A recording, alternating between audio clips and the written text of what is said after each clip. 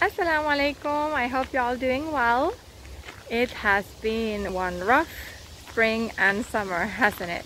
And it's still continuing. And I really pray that everybody's doing fine and everybody's staying safe and healthy. I just wanted to come here to reflect on something about face coverings.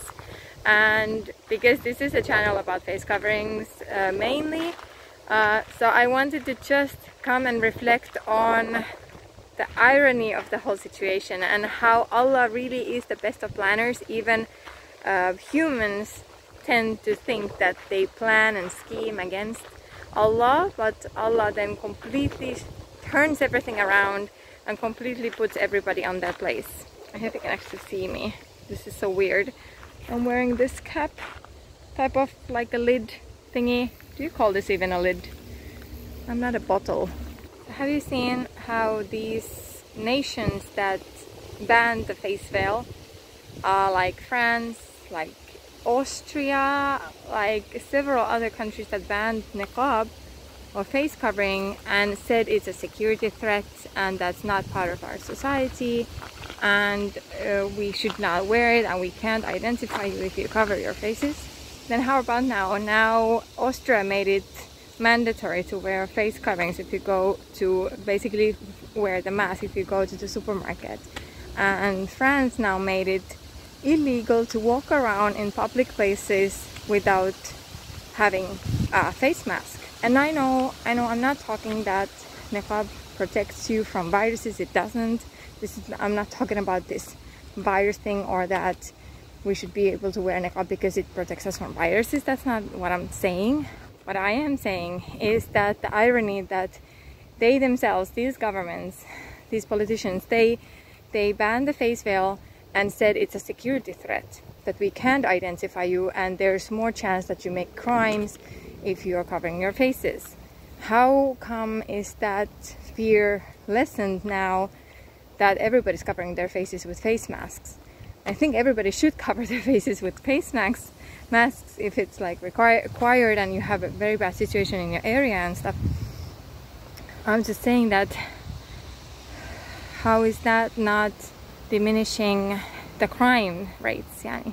I mean people don't have an issue of suddenly everybody covering their faces in public places and in uh, public transport and supermarkets and banks and everything and airplanes let's talk about airplanes. No one has a problem of people covering their faces and and no one is saying to them oh, I can't recognize you. I can't identify you. You can't be I don't feel secure enough to be in this plane with you.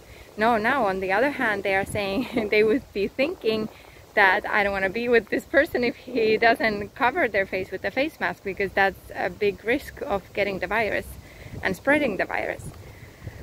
So yeah, my point really is not about is it spreading the viruses or like obviously the face masks masks protect you from viruses or um, alleviate the risk of getting the viruses and spreading them.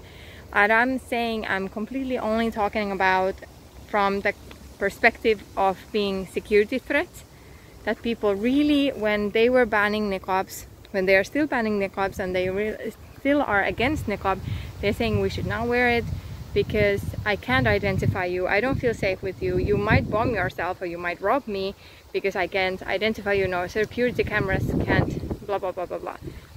But that's the same thing with face masks. Suddenly no one is afraid of bank robbery or terrorism because there's a face mask. Everybody's covering their faces. Now even more it would be easy for somebody to, to commit crimes, yani. If that would be if that would be the case that if you wear a face mask or if you cover your face you're going to be a criminal. How suddenly these other people are not considered criminals really? because for example I remember I have to say, I have to tell this story like in length in some other video but I was once in my health center in a lab taking a blood blood sample and this nurse she was very rude to me and she basically said to me that only criminals cover their faces. And I was like really? Only criminals cover their faces really? And look at us now. How Allah really shows these people their place and how Allah really shows these people who is in charge, who really is in charge and how he also shows with this with this pandemic he also shows us we should not submit to these people and let them um yani bounce us around saying like oh you can't wear that. It's a security threat to us. I, we don't feel we don't feel comfortable with that. But we don't that's not my problem that you feel uncomfortable with my face covering. Yeah you can say that you feel uncomfortable with me and my Islam. That's okay. You can say that that's your feelings and you you have a right to them. But don't tell me that I'm a security threat. Really don't tell me that I'm a security threat really. Because you have to just really be yourself sisters. Be be comfortable with what Allah gives you and what Allah orders you to do. And whether it's a face covering or not just like my point I guess what I'm trying to say is that choose what Allah oh, i'm so dark. I'm so dark. Okay so just choose what Allah chooses for you. Like if Allah is pleased with you it doesn't matter if the whole world is against you really. Because in the end of the day they're just going to care for themselves and they can't even save themselves. Let alone how can they save you. They can't protect you against Allah in the judgment day.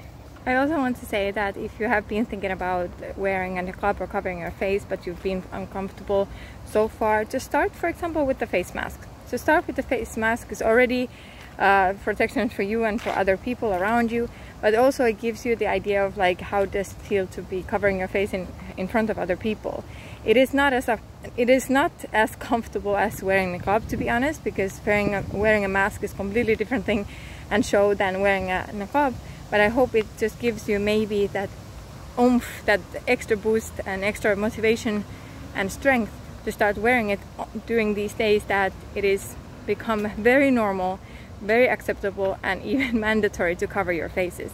So I just hope that maybe my reflection made sense in some way. If it, if it did, it comes from Allah only and all the mistakes and blabbering is from myself and Shaitan. So I hope you are feeling safe and staying safe and I see you soon inshallah. Assalamu alaikum.